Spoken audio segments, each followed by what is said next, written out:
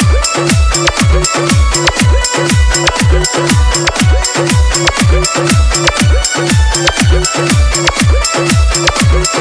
be right back.